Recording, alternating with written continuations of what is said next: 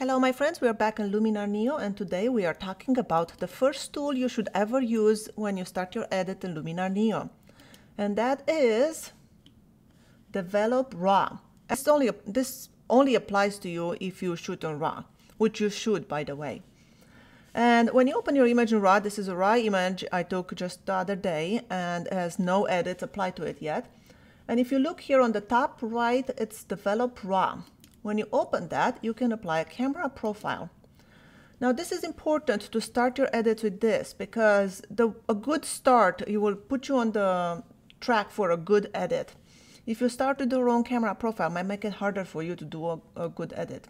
For example, if I do a, this, I have a few of them, I'll take you through this uh, profile. This is Adobe Standard, pretty flat profile. Then I have Camera Standard, you see the colors are a lot brighter. Camera portrait, tones, the pink, the skin tones will change in that. Camera clear, this is a lot brighter. I'm almost, I'm actually blowing up some white, I believe, over there. Camera vivid, the greens, the colors are a lot punchier.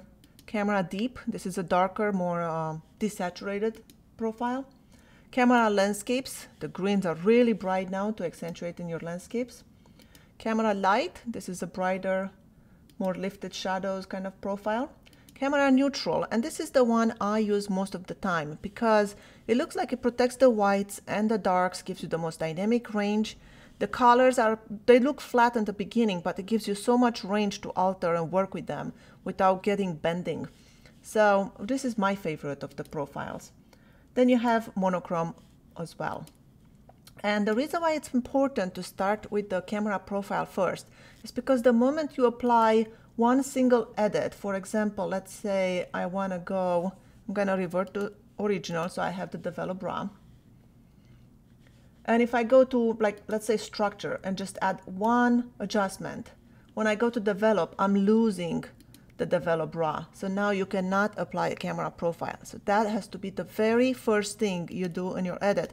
Otherwise, you do not have access to it anymore. This photo, I shot it with the 7, Sony 7R4.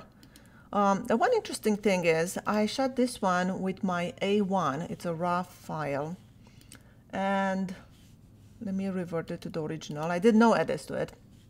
But uh, when I go to this develop, the profiles are different. It doesn't say standard and vivid and landscapes. So it has all these like ST, VV2, IN, NT, which they don't really say what they are. It doesn't really matter. You don't need to know what they are. You can just click through it. I'm assuming that this will be the natural NT. You click through them, see which one works for you, and work with it.